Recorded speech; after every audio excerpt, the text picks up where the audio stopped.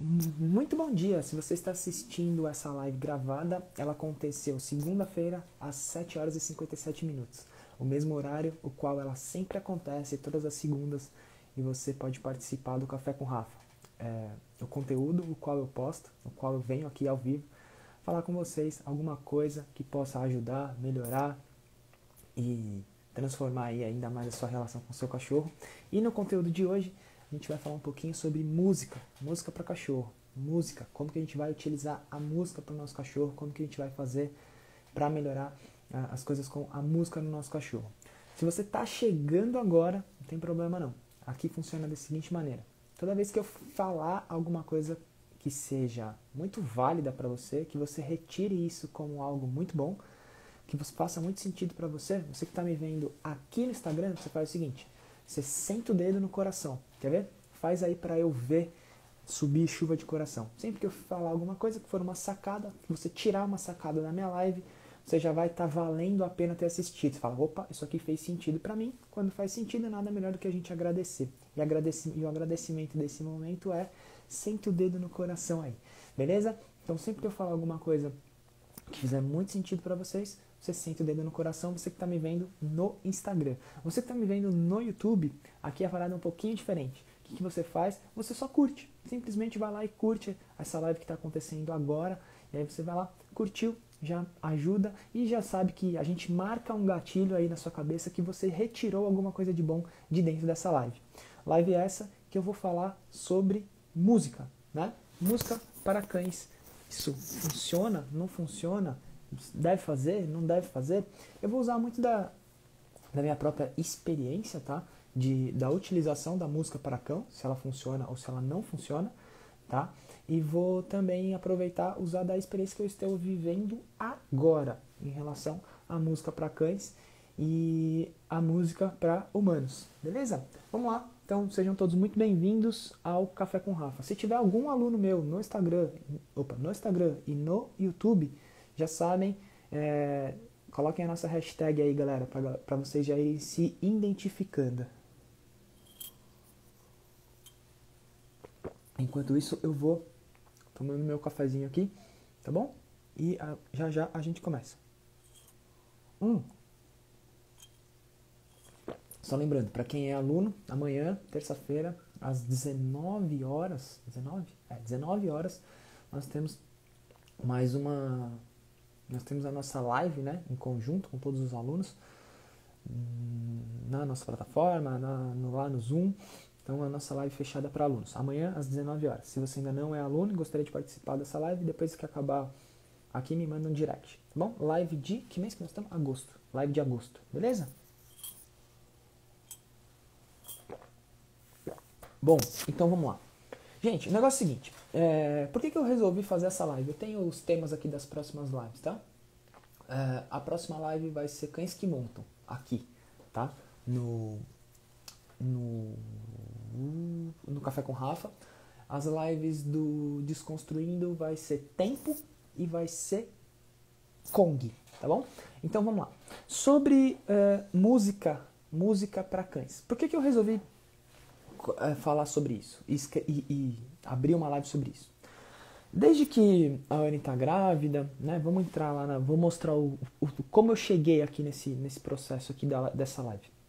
Desde a gravidez da Anne, a gente vem pesquisando e buscando formas de não sofrer como as pessoas sofrem com os seus novos filhos, né? Com, seus, com as crianças pequenas.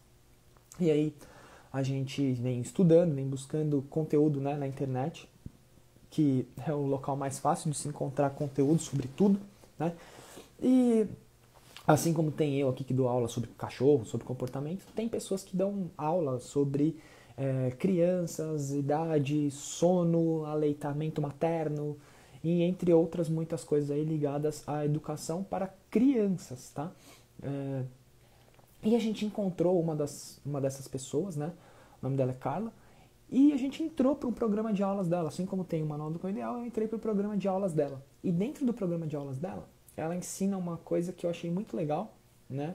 É, nunca tinha pensado e já tinha lido algumas coisas é, ligadas a isso, é, relacionadas ao barulho né, que algumas crianças elas gostam de um barulho que é, não tem nada a ver pra gente às vezes, né? Que barulho que não tem nada a ver pra gente? Barulho de secador, barulho de.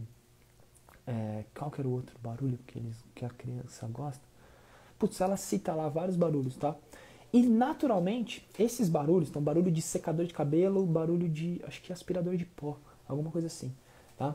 É, naturalmente, esses barulhos eles têm um porquê, principalmente para crianças que são recém-nascidas. Desculpa, galera. Principalmente para crianças que são recém-nascidas, assim como o Henrique. Tá? É, ele é um barulho que ele, baseado em estudos, ele tem similaridades ou ele então é similaridades, também faz parte dele ser parecido. Ele tem similaridades com os barulhos do, do útero, né? Que o barulho que o útero faz enquanto a criança está lá dentro. Então é por isso que muitas crianças gostam, né? Se você tem uma criança pequena aí, tenta usar um barulho, né? Que seja um barulho de secador de cabelo e vê se ela não se acalma por algum momento, tá?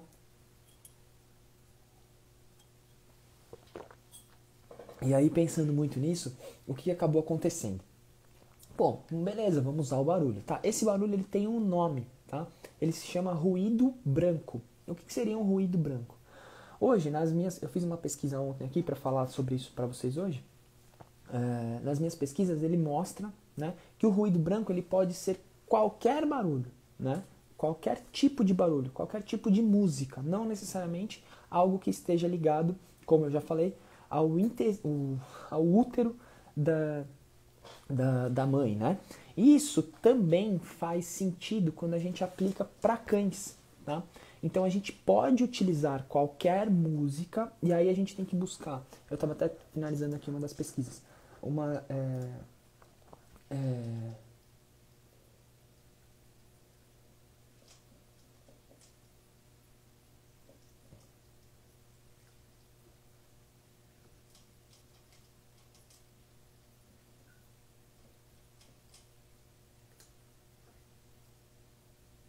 Ó, então, vamos lá. Ela fala aqui que as músicas a gente deve escolher cuidadosamente para não pegar uma música que seja muito agitada.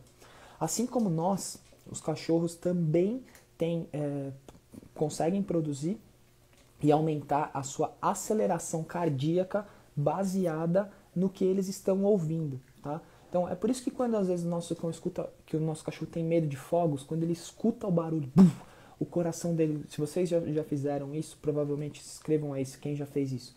Quando você encosta no seu cachorro, a aceleração cardíaca dele está bem alta. Tá tudo. Tá, então, algumas músicas têm o poder dessa aceleração cardíaca. Então, vamos supor, se a gente for correr, né? Não dá para correr ouvindo harpa. Não dá pra gente correr ouvindo, sei lá, ópera, ouvindo coisas muito básicas, muito, muito fraquinhas. O ideal é que a gente bota, sei lá, tem a galera do rock, bota um rockão lá, tem a galera do eletrônico. Porque isso acelera os nossos batimentos e influencia também no nosso processo de corrida, dá um ânimo maior e tudo mais, tá? Isso falando para corrida. Quando a gente tende a se acalmar, a gente vai em busca de músicas mais calmas e mais tranquilas. Que músicas? Sei lá, uma música clássica, põe um, às vezes um reggaezinho bem devagarinho também rola, né? São músicas que não são muito tá, tá, tá, ela segue uma linha, uma nuance, né? E isso acontece com o ruído branco, que é o que eu estou falando para vocês. O que, que, é o ruído branco? Não sei se vocês assistiram ou acompanharam meus stories. É, o ruído branco ele é um barulho, né? Que se assemelha muito a um aspirador de pó, que se assemelha muito a um secador de cabelo, tá? É muito baseado em estudos, né? Estudos feitos pelas pessoal da neurociência aí que mexe com criança, e tudo mais, é o barulho do útero. É por isso que as crianças se acalmam, tá? É, então, por que que eu estou falando sobre isso? Eu estou usando o ruído branco, tá? Com o Henrico. Eu não vou mexer aqui, que tá tudo no jeitinho, mas ele está aqui do meu lado. E não, nesse momento a gente está sem ruído branco porque eu estou fazendo a live. Mas eu estou usando o ruído branco com ele, em todos os momentos de, uh, de soneca e de sono noturno, né? A gente tá, já, já estamos conseguindo uh, sono noturno. Uma criança de sete dias hoje, ela tende a ficar 40 minutos acordada, tá? Então ela dorme 3 horas e 40 minutos acordada. Então, durante essas 3 horas ele tem o, o ruído branco que acalma bastante, tá? Então a gente, mas a gente já está conseguindo aí fazer todo o processo, tá tudo certo, ele tem os horários, tá, tá entrando muito no ritmo, né? Tá sendo tipo, quando eu falo de rotina, estou montando uma rotina é, para o meu próprio filho. E é isso que ele está entrando nessa rotina também. E algumas, quase todas as vezes, é que ele está junto comigo e ela também está ouvindo o ruído branco, né? Porque ela fica eu, ela, ou a Anne, ela e o Henrico. E o ruído branco tá pro Henrico, né? É, mas a Scully tá ouvindo. Ontem a gente começou a fazer o processo introdutório do Henrico no berço. Eu não fiz no primeiro dia, na chegada dele, tá? Ele dormiu alguns dias no carrinho, no quarto, né? No Moisés, não é no carrinho, no bebê conforto, é no Moisés, no quarto, no nosso quarto. Mas ontem a gente já começou a fazer o processo dele ir para a cama dele, para o berço dele. E o que, que a gente fez? Todas as sonecas começaram no berço, tá? E todas as sonecas elas tiveram uh, o ruído branco associado ao sono. Então a gente faz um, ó, muito importante isso aqui para vocês. Associem, soné, associem os sonos dos seus cães com o ruído branco, com a música, tá? Não adianta você de uma hora para outra pegar a música, achar que aquela música vai acalmar seu cachorro e, e você soltar aquela música em algum lugar, tá? Então você vai fazer uma associação da música, do ambiente ao que o cachorro tem que ficar, tem que estar. Então você baixa o volume de voz, você diminui a intensidade nas brincadeiras, você não estimula mais essas brincadeiras, né? É, coloca a música. Se quiser baixar um pouquinho a luminosidade, baixa a luminosidade e o seu cachorro entende que aquela música é uma música de relaxamento. Então, feito isso, e eu estou falando isso de experiência própria, porque eu estou fazendo com o Henrico, está acontecendo é, diretamente na Scully. Por quê? Ela tá ficando junto, né? E aí outro dia me perguntaram, Rafa, como é que vai ser a sua rotina da Scully com o Henrico e do Henrico com a Scully? No começo, a Scully vai ter que entrar na rotina dele, né? A gente vai ter que mudar um pouquinho, a Scully vai ter que entrar na rotina dele, mas depois eu quero introduzir ele na rotina dela, né? Que é a rotina de passeios, eu quero levar ele passear junto com ela, é, no carrinho e tudo mais. E, e nessa rotina que a Scully está entrando na rotina dele, como a gente está fazendo esse processo de colocar ele no berço, dele ir dormir, né? É, fazer as, as, sonecas que a gente chama, né? Sonecas no berço, o que está acontecendo é que a Scully está participando disso tudo. E ontem foi muito nítido. Eu até fiz um vídeo, esse vídeo vai ser postado, tá? Do ruído branco, que é enquanto a gente estava, enquanto ele estava no berço, né? Estava entrando no processo de sono, ele estava quase dormindo, o ruído branco já estava ligado, a Scully estava deitada na cama, ela começou a apagar, tipo assim, ela estava assim, ó. Aí ela virava o olho e tal. Foi até eu postei uma foto, né, cansada de ser babá. Por quê? O ruído branco está influenciando ela. Na verdade, não é só o ruído branco. O ruído branco é uma das ferramentas, mas, existem mas existe todo outro processo. Qual que é todo outro processo? abaixa na luminosidade, a, abaixa no tom de voz. Né? É, o, o, o ambiente está mais confortável, a diminuição, na verdade, o zero brincadeira naquele momento, tá? Então a Scully tem zero brincadeiras naquele momento, está fazendo com que ela entre nesse processo de relaxamento. E eu sinto que ela está relaxando mais do que o normal. É muito difícil você ver a Scully assim virar o olho assim. Geralmente isso acontece quando ela volta do sítio, que aí ela tá quebrada. Mas naturalmente ela simplesmente só dorme, né? Não, não ela fecha o olho e ela fica. Ela tava assim ontem, com o olho fechado e. Tipo, né? E o ruído branco tá fazendo muito sentido para ela. Tá? Então, quando vocês mais entendam que existe um processo, não é de uma hora para outra que a gente coloca o barulho e coloca o cachorro. Primeiro, a gente montou o ambiente, a gente preparou o ambiente, a gente diminui luz, a gente faz todo um processo, a gente para com brincadeira, a gente acrescenta o áudio, né, que é o som do ruído branco, que é o que eu estou falando para vocês aqui. Se você chegou agora, fica tranquilo. Depois essa live vai ficar gravada, você volta e assiste o que, que é o ruído branco. Mas o ruído branco, basicamente, ele é um barulho que ele vai... Qual que é a, a a, a, grande, a grande sacada dessa live da música, tá? Tô falando sobre música para cachorro aqui, se você chegou agora. Mas qual que é a grande sacada? É o seguinte, o barulho, esse som, esse barulho da música, ele tem que cobrir todos os outros barulhos. Então ele tem que ser um barulho que ele cubra todos os outros barulhos, tá? E ele tem que ser um barulho que ele tenha uma linha é, é, então, é o ruído branco. Ele tem que ser um barulho que ele tenha uma linha. Eu recebi uma mensagem aqui da Simone, ela falou, ok, eu ia perguntar agora sobre o ruído branco. ele é um barulho que ele tem uma linha, ele segue uma linha e ele não tem nuances, né? Ele não fica subindo e descendo, né? Sobe, desce, tá, tá, tá, tá, tá, rock and roll, né? Esse tipo de coisa. Então ele é um barulho lin, ele é um barulho linear, né? Então ele tem sempre o mesmo estímulo e esse estímulo é, ele tem que cobrir todos os outros barulhos. Mas não adianta só ele e não adianta a gente fazer uma vez só. Tá? Esse daqui, é, os meus alunos, se, você, se vocês fazem parte do, do, do, canal do Telegram, onde eu posto conteúdo também diariamente, é, eu postei lá esses dias que uma das minhas alunas, ela já está preparando o cachorro dela para o ano, para o final do ano, se houver fogos. Então ela já está nesse processo de treinamento. E dentro desse processo de treinamento, ela pode acrescentar o ruído branco pro ambiente, para aquele local, para que o cachorro dela tenha sim uma, uma aceitação maior, né? E para que ele se tranquilize mais, para que ele fique mais de boa, tá? Então, basicamente, nossa, café gelado horrível. Então, basicamente, o ruído branco ele é um barulho para ele disfarçar os outros barulhos, para ele é, cobrir os outros barulhos caso eles aconteçam. Então, vamos lá. Tá tendo uma obra perto aí da sua casa? Cara, no momento da obra, na hora da obra, seu cachorro tá incomodado com isso, começa a treinar ele. Tá tendo, sei lá, nos finais de semana os seus vizinhos fazem bagunça, eles causam aí, tem problema. No momento do final de semana, durante a semana você treina e no final de semana você coloca o seu cachorro naquele ambiente. Então monta o ambiente, adiciona a música e aí faz sentido. Rafa, precisa ser o ruído branco? Não, não precisa ser o ruído branco.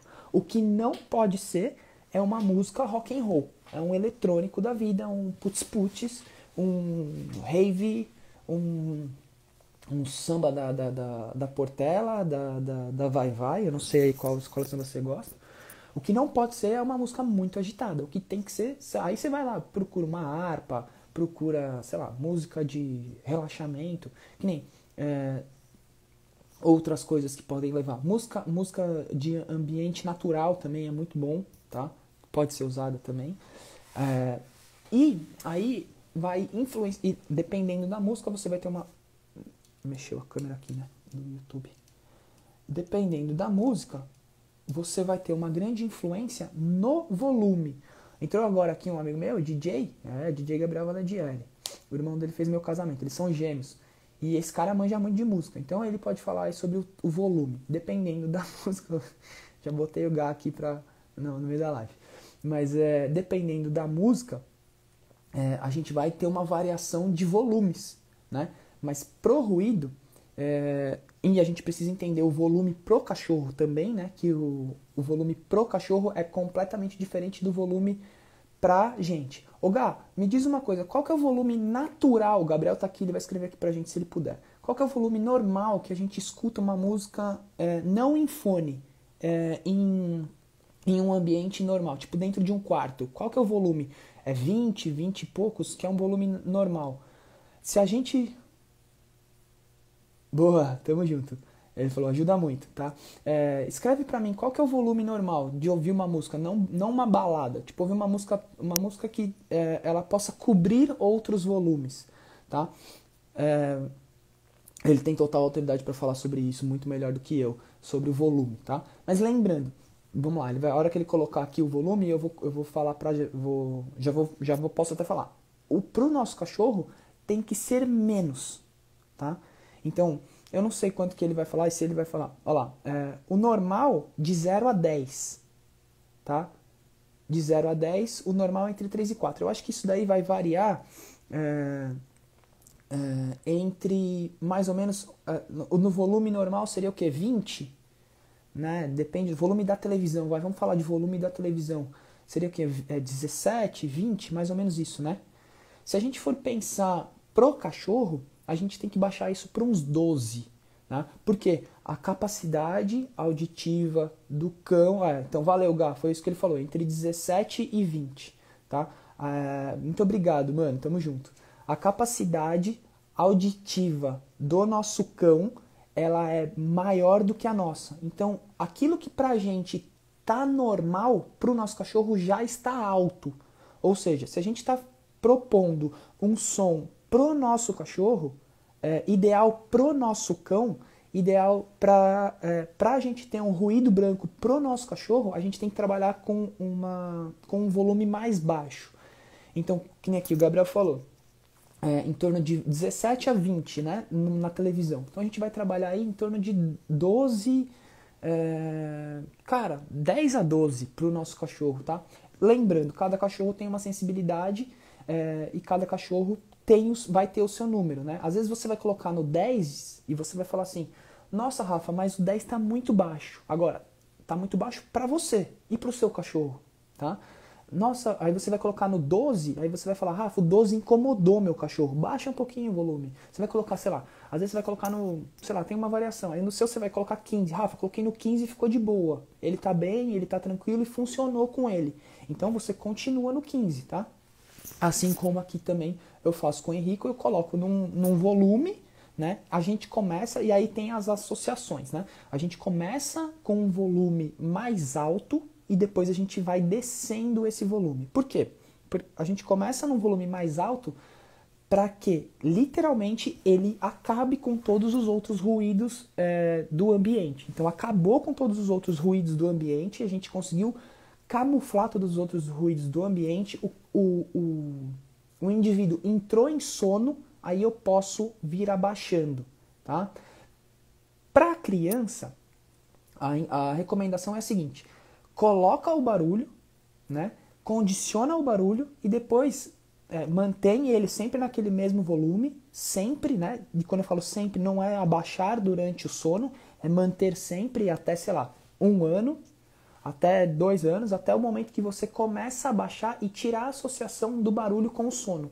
Com o cachorro pode ser feito a mesma situação. Então o que você vai fazer? Você começa com aquele volume, você usa aquele volume e você vai descendo o volume para que os barulhos externos ele consiga é, ter a percepção também. Então, ele tanto vai ter. Nossa, estava olhando para uma câmera para outra. Então, ele tanto vai ter a percepção do barulho, é, do ruído branco, quanto ele vai ter também a percepção do barulho externo. Então, ele tem a percepção.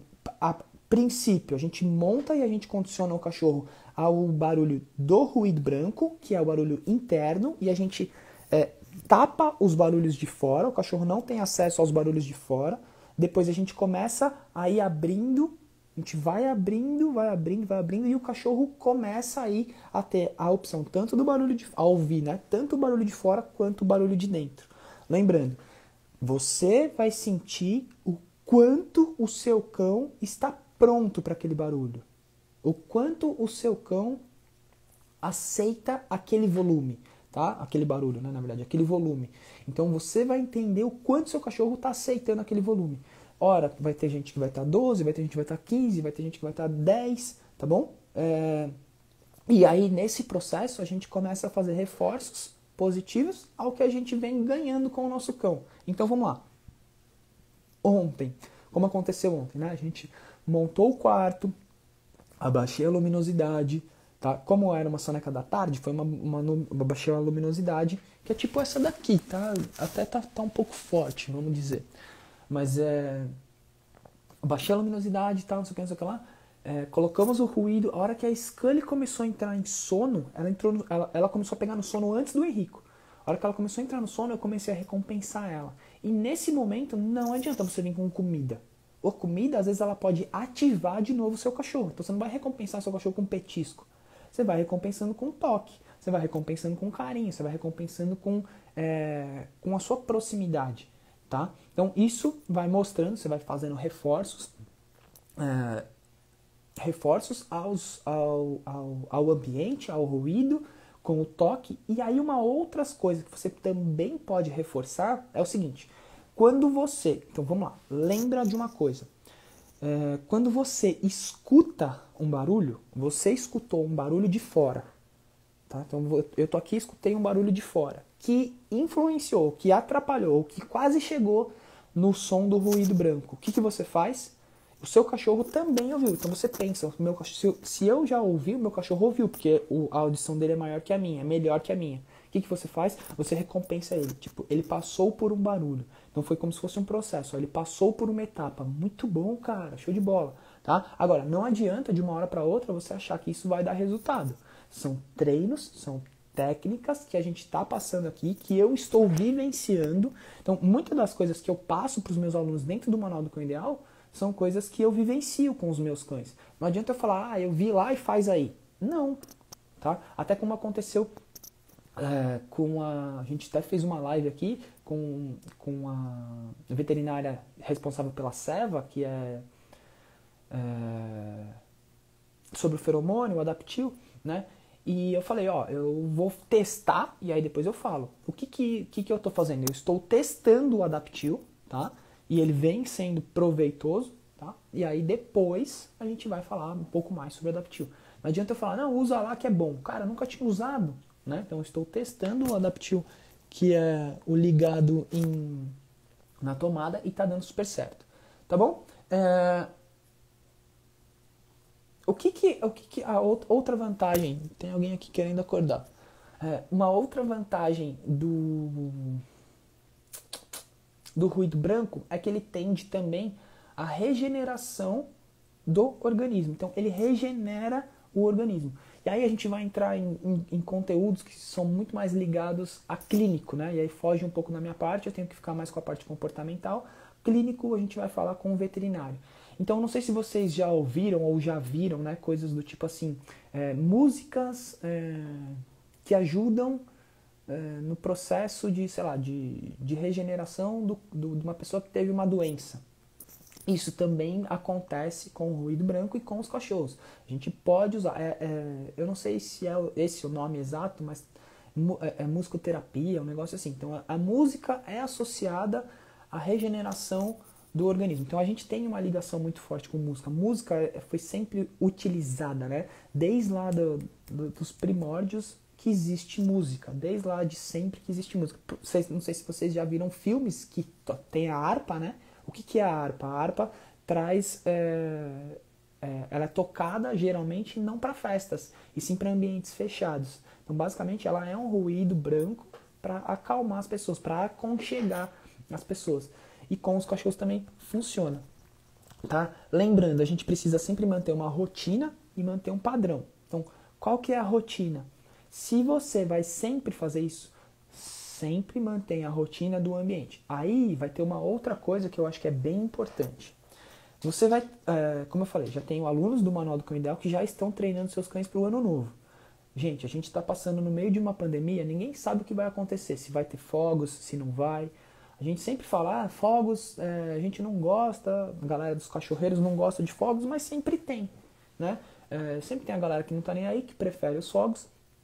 É, e a gente não sabe como é que vai ser. Se esse ano vai ter, se não vai ter, se vai ter Réveillon na Paulista, se vai ter Réveillon na, na Copacabana, se vai ter. A gente não sabe como é que vai ser. Nada melhor do que você já começar a treinar o seu cachorro para que ele passe muito bem por esse. É, por esse processo de ano novo. Se não tiver, nada de errado, você não perdeu nada, você ganhou, porque você introduziu algo no seu cachorro que ele não sabia fazer antes.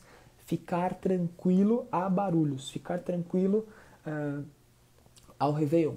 Tá? Uh, muitos de vocês podem estar perguntando, mas Rafa, onde que eu encontro esse ruído branco? Gente, e, a, e as, as músicas? Vão ter diversas músicas, deixa eu ver aqui, eu tinha até anotado aqui. Uh, Cara, vocês podem ir atrás de sonatas, tá?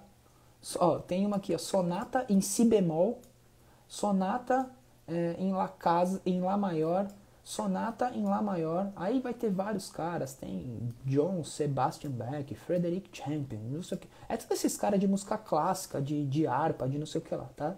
É, tá? Sobre o volume a gente falou também, tá? É, e aí, aonde vocês encontram essas músicas? Gente, seguinte. Valeu, mano. Tamo junto. É, o Gabriel escreveu aqui, é, perfeito, Rafa, parabéns, ótima live, ótimas dicas. Tamo junto, cara. É, o que, que a gente encontra, aonde que a gente encontra, né, esses, essas músicas? É, cara, pode ter no YouTube, vai ter bastante no YouTube, é, vários tipos de música e vários tipos de som, e não, lembrando, não necessariamente você precisa colocar um ruído branco, que é o ruído que eu estou falando. Gente, lembra, mais uma vez, o ruído branco, ele é baseado em estudos, um ruído que se assemelha ao barulho do útero, tá? É, não, não, não achei nada ainda, não achei nada ainda que fale que se assemelha ao barulho do útero de uma cadela, ok? Tá? Eu sei que ele se assemelha ao barulho de, do útero de uma mãe e ele funciona com crianças, principalmente recém-nascidas, mas não necessariamente só com crianças recém-nascidas, tá? Além disso, ele está funcionando com a Scully. A Scully apaga. Então, se você não quiser usar o ruído branco, tá tudo bem, tá? Tá tudo bem, não tem problema nenhum. Você usa outra música que for mais legal para você, que for que você acha que seu cachorro goste mais. Diz a Anne que a Anne gosta de reggae, que é minha esposa, né?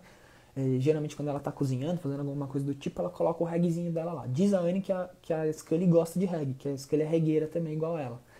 É, eu nunca cheguei, né? Ela, eu já vi já alguns momentos, mas nunca cheguei a fundo de vamos ver se isso aqui é real e fazer como eu venho fazendo com o Henrico, que é preparando o ambiente, colocando a música, fazendo acontecendo e tá dando certo com a Scully. Ela, tá, ela fica real, apagada, ela vira o olho. O que você pode fazer também para potencializar, além de todo esse processo, como eu falei aqui do.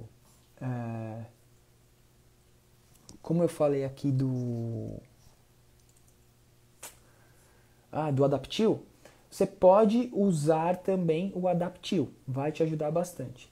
A Vivi fez uma pergunta aqui, isso é para cachorro que late? Vivi, a gente está falando aqui sobre música para acalmar e não para resolver, tá? Ela pode sim ajudar, pode ser potencializador para o seu cachorro para ele se acalmar. Para um cachorro que late, a melhor coisa não é tentar é, usar essa música para ele acalmar, mas ela pode ajudar, tá? O que o, o cachorro que late, o que, que a gente pode fazer? A gente faz um aumento de gasto de energia, então a gente aumenta, potencializa o gasto de energia desse cachorro e quando ele voltar, a gente proporciona esse processo da música, que é, é aumentar, botar um volume é, que seja bom para o nosso cão e que faça com que ele fique se mantenha mais calmo. Gente, aí. É... Então, ó, para um cachorro que está sofrendo de ansiedade, pode ajudar muito. Provavelmente é um cachorro que tem medo de barulho também. Então, esse, esse, a, a música para cachorro, ela tem esse poder de ajudar. O ruído branco, ele vai te ajudar com isso. Mas é um processo. Não adianta a gente só colocar no momento do pico. Então vamos supor, ah, o cachorro deu pico de ansiedade agora. Aí você vai lá e põe a música. Ele vai associar a música com coisa ruim. Assim como as pessoas fazem, é, não sei se vocês já viram aí, para enfaixar o cachorro, né? Tem um, um processo de enfaixamento. É, vamos enfaixar o cachorro na hora do, do, do, dos fogos. Qual que é a associação que aquele cachorro está tá tendo? Quando você enfaixa ele, ele já sabe que vai ter fogos. Ele odeia aquela faixa. Ele começa a odiar a faixa. O processo é tem que ser feito antecipadamente. Então você vai enfaixar e não vai ter fogos, vai enfaixar e não vai ter fogos, vai enfaixar e não vai ter fogos, vai enfaixar e não vai ter fogos. Vai chegar o momento que quando você enfaixar, aquele cachorro vai se sentir confortável. Eu não estou falando que o negócio não funciona, eu estou falando que ele é aplicado da maneira errada. E outra, ah, mas você está falando, você nunca. Eu não estou aqui para falar o que vocês querem ouvir, eu estou aqui para falar a verdade. Se você não gosta de verdades, cara, não é o lugar para você estar, sai. Tá tudo certo, não nada de errado com isso. Não tô, você não está pagando nada para estar tá aqui, tá? Então sai o, o, esse processo da faixa ele é mentiroso. Ele não é resolutivo se ele não tem uma preparação antecipada. Falando sobre cães que têm medo de barulho. É mentira. Cães que têm medo de fogos. No final do ano vocês vão ver, vai entrar um monte de post da galera. Enfaixa o cachorro, faz isso, coloca aquela faixa que é confortante.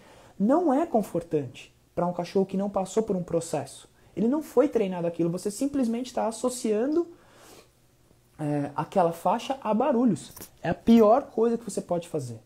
Tá bom? Então não coloca a porra da faixa sendo que você não fez um treino. Não coloca a porra do ruído branco sendo que você não treinou seu cachorro ao ruído branco. monta o ambiente, monta o local, monta o ruído branco, entende qual é o melhor volume para o seu cão, faz todo um processo e só depois disso você está pronto para colocar o seu cachorro em prova. É uma das coisas que eu falo. As pessoas colocam seus cachorros em prova, mas não ensinaram a matéria. Não passaram lição de casa. O cachorro tem que se virar naquele momento. Então só fazem associações negativas ao que deveria ser bom. Ao que deveria ser bom. E quando o cachorro tem medo de banho, o que fazer? Quando o cachorro tem medo de banho é outro processo. Processo de sensibilização, processo de associação, processo de toque. Né? E isso nunca a gente vai fazer dentro de um pet shop. A gente faz isso dentro de casa, a gente condiciona o banheiro primeiro. A gente vai fazendo processos. Tem uma criança querendo acordar aqui. Já está na hora dela já. A gente vai condicionando, a gente vai fazendo processos é, voltados para o banho, mas nunca no pet shop. O pet shop pode ter um ruído branco? Pode, mas se o ruído branco não tem dentro de casa, o cachorro não sabe o que é aquilo. Aí ele vai ter uma associação negativa ao ruído branco. Assim como o cachorro, o cachorro pode ter uma associação negativa ao processo da faixa. Lembrem-se, montem rotinas, montem rotinas, montem padrões. Tem alguém que está acordando. Tem alguém que tá acordando, chegou minha hora de mamar. Fala, oi galera, minha hora de mamar. Chegou minha hora de mamar. É meu horário de mamar agora. Já deu três horas. Beleza, galera? Então, só para vocês entenderem aí como funciona a parada, eu fico por aqui. A gente se vê então numa outra live, num outro dia. Valeu? Fui!